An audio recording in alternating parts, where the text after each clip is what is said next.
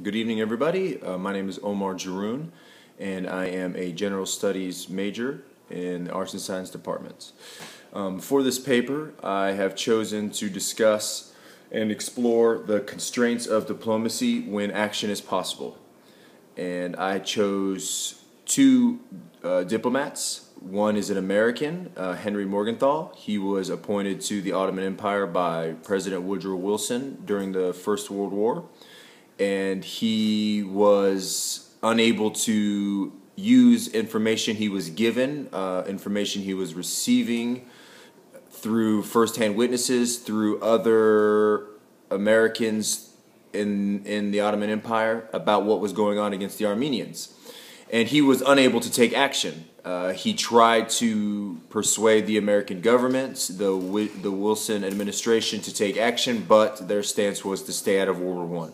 So this diplomat was very restricted, uh, and in, in, essence, he ended up quitting because he couldn't get anything accomplished, and what he was witnessing on a day-to-day basis, I'm sure, was uh, horrible. And I'm comparing him with another diplomat. This is a Japan general consul.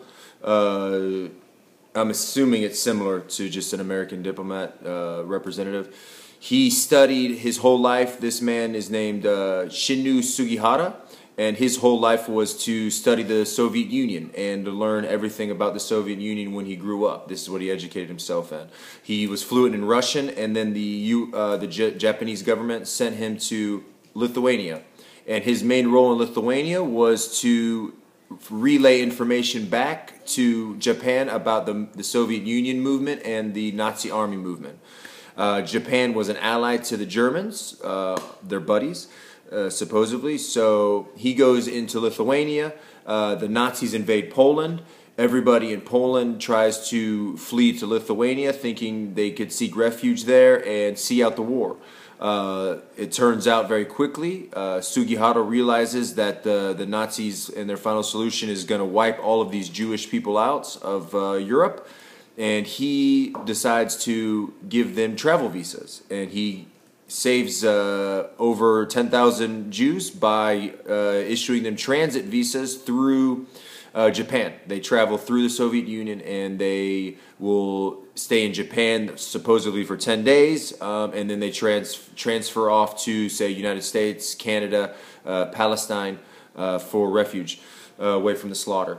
So this diplomat was able to use the sensitive information he was receiving on the troop movements from the Germans and the Soviet Union, and he uh, used his power, his privileged status, to take action. Um, so, in my paper, uh, I, dis- I discuss how diplomats can take action, uh, how they're restricted, um, sovereign countries, uh, sovereign nations the ability to do as they please inside of the country uh, with their people, and what does a diplomat, uh, what is his role when he goes to another country to play nice guy, to push buttons, um, you know, and that is what I'll discuss. Um, why studying response to genocide important? I believe we have to study the response to genocide so we can learn and save more lives. Obviously, we've realized national interest is a big thing when superpowers need to get involved in other countries' business. And if the national interest or public opinion is aroused, then action can take place. And what we're learning from the genocide over the past hundred years uh, is that action must be t- must take place from an outside source.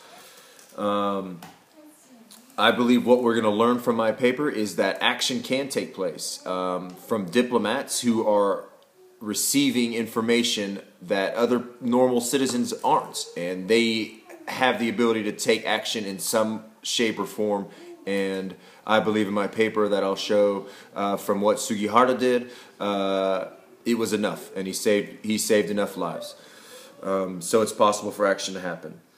Um, and for what we can predict for the international community in the future is that um, they will, people do care. It's on television now. Uh, everything is recorded when events happen, such as in Bosnia internationally it's becoming more of a system a setup that response is better. And I hope uh, in future situations, such as uh, what's going on with, with the Syrian refugees, uh, we have to be able to give these people a chance at life. And I think that's what uh, life's about uh, humanity and, and to give people a fair chance. And so, um, hopefully, diplomats who are abroad uh, will be able to take action. So, that is what my paper is about. And I've really enjoyed doing what I've done so far on it. Thanks so much.